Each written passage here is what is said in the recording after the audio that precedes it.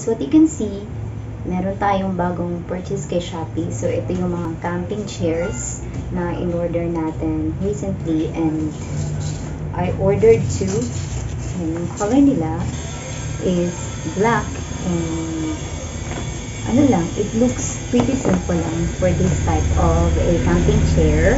Tibay naman so far. So, I am over 40 to 45 kilograms. So, kayang-kaya naman ako kapag ka nakaupo ko dito and later we'll try this with my husband. He's over I guess 60 to 75 kilograms. So, tingnan natin mamaya kung kakayanin niya yung husband ko.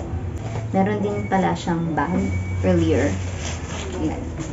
For easy handling of these camping chairs. So, ito. Ang haba pala niya, like, ganito pala siya, like, almost 1 meter yung haba ng camping chairs na to. So, ito siya kapag ka naka-unfold. Ayan. And, as we try to fold it, ayan. So, ganito lang siya ka-simple. Ayan. And, yes, we can just put it inside the or inside its bag. Ayan, so ang ganda niya for camping. We're definitely ready for camping with these chairs and I'm also waiting for the camping table. So it's on its way. I'll just include that in this vlog. So please watch out for that. In the meantime, ayan, enjoy ko muna tong chair na to with a bottle of water that I can easily place here.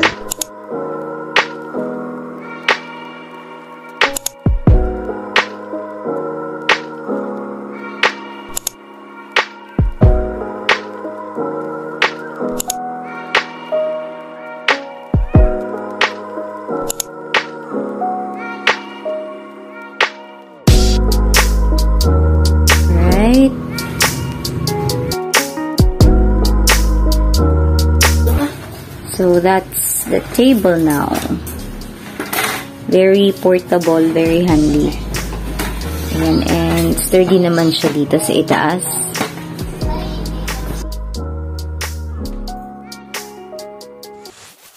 Mabigat.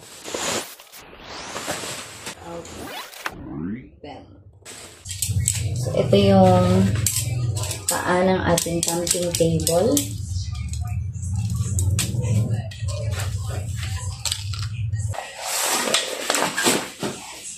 Ayan, ganyan siya guys. So, plastic lang yung material niya. Mm, Maganda naman, quality naman yung pagka-plastic nito. So, ayan, let's try to put it on top of legs niya. So,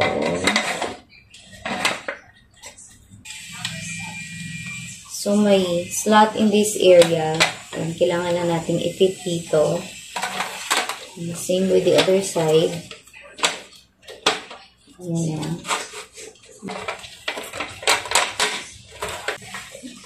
Medyo, ano lang, um, matigas lang kapag uh, pinipit mo siya sa all four corners niya para sturdy yung labas ng table na to. So, it for the unboxing and the assembly of this table.